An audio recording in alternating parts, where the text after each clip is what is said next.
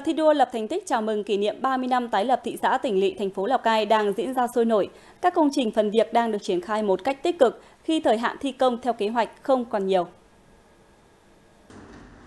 Ưu tiên hàng đầu của thành phố lúc này là chỉnh trang, nâng cấp đồng bộ cơ bản hạ tầng khu vực nội thị, đảm bảo an toàn giao thông, nâng cao mỹ quan và tiến tới hoàn thiện kết cấu hạ tầng đô thị. Chính vì vậy, quá trình triển khai thi công,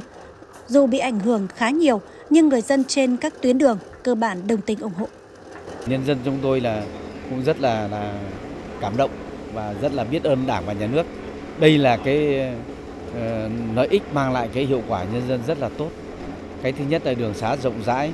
mặt đường như át phan.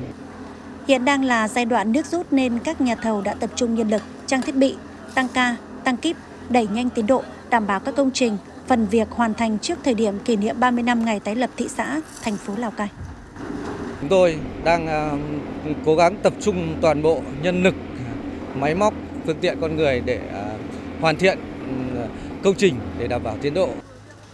Theo đánh giá của chủ đầu tư, thời điểm này hầu hết các công trình phần việc đã cơ bản đạt trên 90% khối lượng công việc. Chủ đầu tư đã luôn đồng hành cùng các nhà thầu để đảm bảo tiến độ và chất lượng, công tác giám sát chặt chẽ, đôn đốc tiến độ từng ngày và yêu cầu đơn vị thi công phải hoàn tất bàn giao trước ngày 25 tháng 8 tới đây. Ngoài cái việc chỉnh trang các công trình này thì thành phố cũng đã có các văn bản chỉ đạo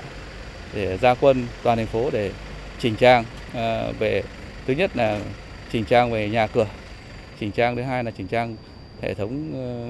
các hệ thống công trình công cộng, cây xanh, điện chiếu sáng và vệ sinh môi trường. Sự quyết tâm của các đơn vị thi công, sự giám sát của đơn vị chuyên môn, tiến độ các dự án đang được triển khai đảm bảo theo kế hoạch, đạt hiệu quả cao, tạo điểm nhấn kiến trúc góp phần vào kỷ niệm 30 năm tái lập thị xã thành phố Lào Cai, cũng như hoàn thiện các tiêu chí của đô thị loại 1.